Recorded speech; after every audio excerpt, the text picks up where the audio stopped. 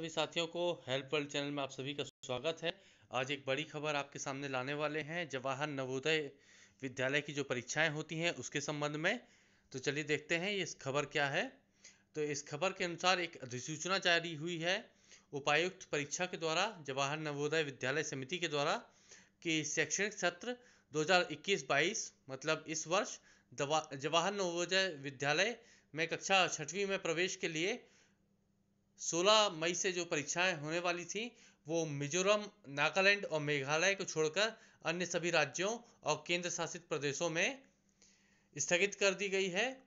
आगामी आदेश पर्यंत ये परीक्षाएँ जो हैं, वो नहीं होंगी। जो परीक्षाएँ जवाहर नवोदय विद्यालय के लिए 16 मई से होने वाली थी, वो सभी परीक्षाएँ केवल तीन राज्य, मिजोरम, नागालैंड और मेघालय को छोड़कर स्थगित कर दी गई है।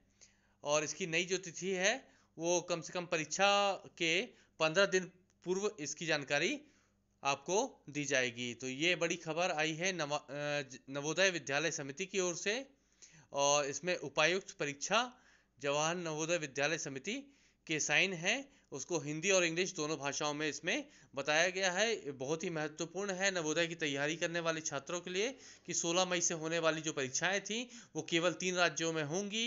इसके अलावा जितने भी राज्य हैं और केंद्र शासित प्रदेश हैं, उन सभी जगह ये परीक्षा जो है स्थगित कर दी गई है आगामी आदेश के लिए।